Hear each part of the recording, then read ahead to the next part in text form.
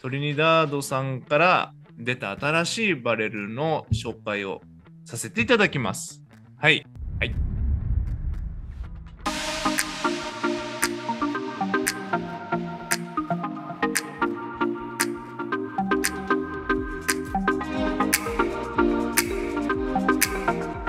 はい。っていうことで、まあ僕の個人チャンネルでもね、紹介させていただきましたけど、サモラのタイプ3発売しております。はい。あのー松本めぐみプロのね、新しいモデルということで、もう僕がダーツを始めた頃はですね、もう絶対女王として君臨してですね、まあ、本当に強かった。そんなね、松本プロが今回ね、なんとサモラを出すにあたってスティールも出してくれてるっていうのがね僕ものすごく嬉しくてトリニダードさんにねちょっとレビューさせてくださいっていうことをお願いして動画作ったんですけど、まあ、今今ねあの図面図面というか特徴の画像が出てるんですけど僕がねすごくいいなと思ったのはまず一番後ろのねラウンドカットって書いてあるところですね。この一番こっちか一番こっち。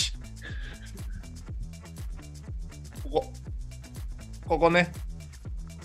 うん。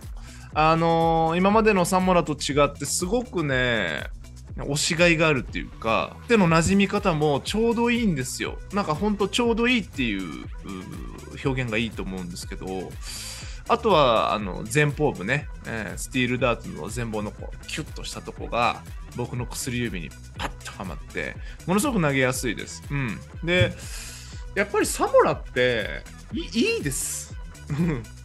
1から2、まあ3作目なんですけど、どれもいい。